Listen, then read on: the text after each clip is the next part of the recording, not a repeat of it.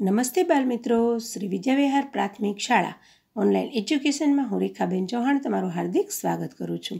ધોરણ એક, વિષય ગણિત ગમ્મત એકમ નવ, માહિતીનો ઉપયોગ. બાલમિત્રો, આપણે ગયા વિડીયોમાં એકમ નંબર આઠ, એકવીસથી પચાસ સુધીની સંખ્યા શીખી ગયા. એમાં ખૂટતી સંખ્યા શીખ્યા, એક દશક અને એકમ શીખ્યા.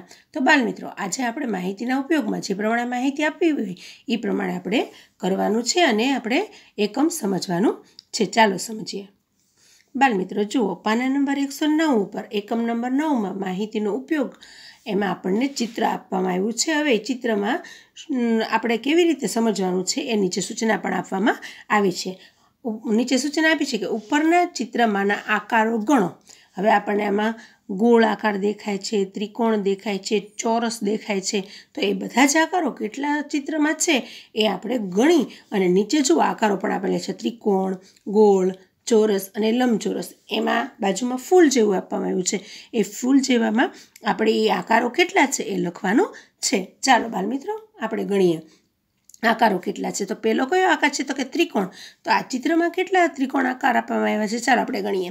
જુઓ, નીચે ઝાડવામાં એક, બે, ત્રણ, પછી ઉંદરના પગમાં ચાર, પાંચ, છ. હવે ઉપર બે પર્વત છે. સાત, આઠ. એની ઉપર નવ, દસ, અગિયાર, બાર, તેર, ચૌદ. પછી ફૂલ જેવું છે ત્યાં. પંદર, સોળ, સત્તર, અઢાર, ઓગણીસ, વીસ, એકવીસ અને બાવીસ. બાળ મિત્રો, આપણને ત્રિકોણાકાર બાવીસ આપવામાં આવ્યા છે. કેટલા આપવામાં આવ્યા છે? બાવીસ. તો આપણે એ ફૂલમાં લખશું બે બગડા બાવીસ. બાજુમાં ગોળ આપવામાં આવ્યું છે. તો ગોળ આપણને ચિત્રમાં કેટલા આકાર આપવામાં આવ્યા છે? તો કે કે પહેલાં આપણે ઉંદરથી શરૂઆત કરીશું. તો એનું પેટ છે ગોળ છે. એટલે એક, એના મોઢા અને આંખના ટપકા ત્રણ છે. એટલે એક, બે, ત્રણ, ચાર, કાન પાંચ, છ, ઉપર સાત, આઠ, નવ અને દસ અને અગિયાર. તો આપણને અગિયાર ગોળ આપવામાં આવ્યા છે. કેટલા આપવામાં આવ્યા છે? અગિયાર. તો આપણે ગોળમાં લખીશું બે એકડા અગિયાર. પછી નીચે ચોરસ. તો ચોરસ કેટલા આપવામાં આવ્યા છે? તો આપણને ચોરસ પહેલાં આપણે નાના ચોરસથી ગણીશું. ઉપર એક, બે, ત્રણ, ચાર, પાંચ. પછી બે બારી, છ, સાત. તો ચોરસ આપણને સાત જ આપવામાં આવ્યા છે. તો આપણે ચોરસની સામે ફૂલ છે, એમાં લખશું સાત. હવે લંબ ચોરસ, તો કે લંબ ચોરસ ઘરમાં કેટલા છે? તો કે એક, બે, ત્રણ અને ચાર. પછી ઝાડની નીચે પાંચ, છ, સાત અને આઠ. લંબચોરસ કેટલા છે કે તો આઠ? તો આપણે ચારે ચાર વસ્તુ લખી છે. હવે નીચે સૂચના પાછી આપવામાં આવી છે. આકારનું નામ આપો. સૌથી વધુ વખત કયો આકાર આપ્યો?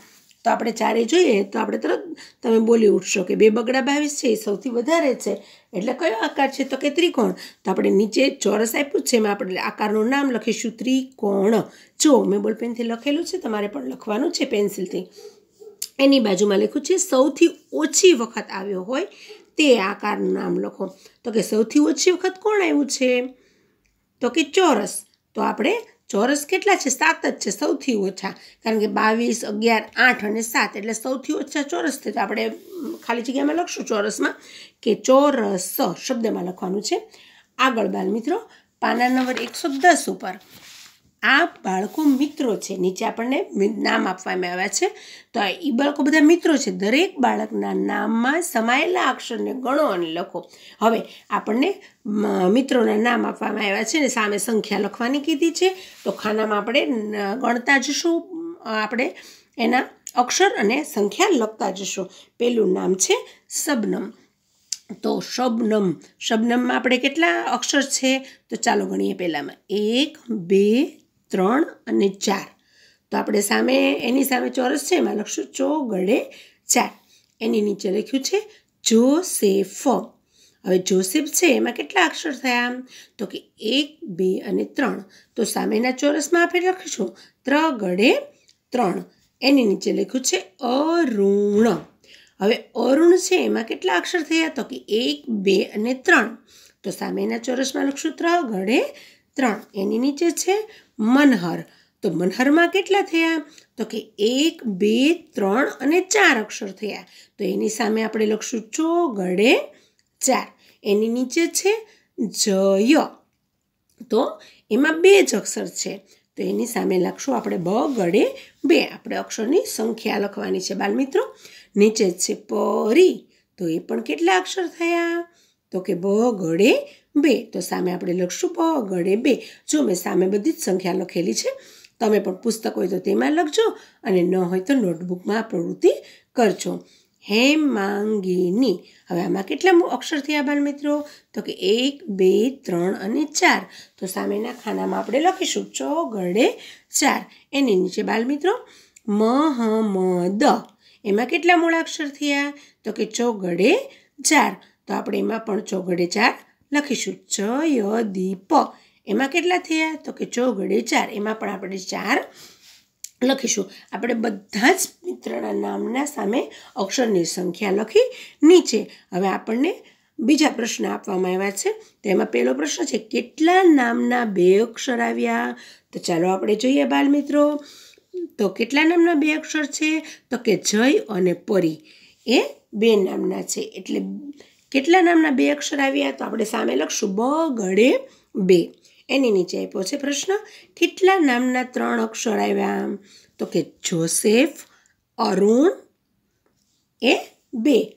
તો કે ત્રણ અક્ષર કેટલા નામના આવ્યા? તો કે બે. તો એની સામે લખશું બ ગળે બે. એની નીચેનો પ્રશ્ન છે, કેટલા નામના ચાર અક્ષર આવ્યા? તો શબનમ, મનહર હેમાંગીની મોહમ્મદ અને જયદીપ. કેટલા આવ્યા? પાંચ. તો આપણે એની સામેની સંખ્યા લખશું પાંચ. હવે પાછું નીચે આપણને બીજા બે પ્રશ્ન આપવામાં આવ્યા છે.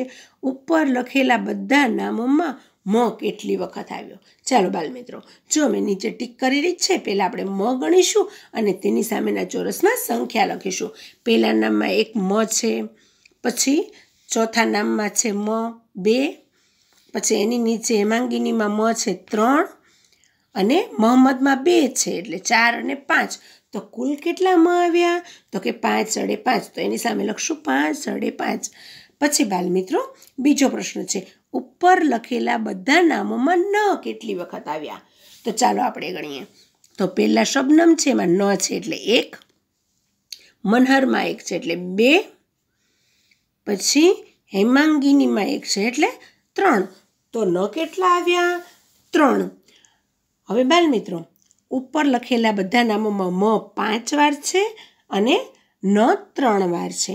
બાલ મિત્રો આપણે માહિતીનો ઉપયોગ આ જે એકમ સાવ નાનું છે એ આપણે શીખ્યા. બાલ મિત્રો તમે, મેં આગળ ચિત્ર તમને સમજાવ્યું, ત્રિકોણ, ચોરસ અને ગોળ એ બધું ગણી અને એમાં તમે રંગ પૂરવા હોય તો સરસ મજાના મનગમતા રંગ પૂરી શકો છો બાલ મિત્રો આપણે આમાં નવું શીખ્યા. ગોળ, ત્રિકોણ, ચોરસ અને લંબચોરસ. કોઈ પણ ચિત્રમાં એ આકારો આવે આવે, તો આપણે તેને ગોતી શકીએ છીએ. આ બધી પ્રવૃત્તિ બાલમિત્રો, તમારી પાસે પુસ્તક હોય તો તેમાં કરજો. અને ન હોય તો નોટબુકમાં મમ્મી પપ્પા અથવા ભાઈ બહેનની મદદથી કરજો. આપણું ચેપ્ટર અહીંયા પૂરું થયું. આવતા વખતે બાલમિત્રો એકમ નંબર દસમાં આપણે પેટર્ન શીખીશું. બસ આજે આટલું જ. આવજો બાલ મિત્રો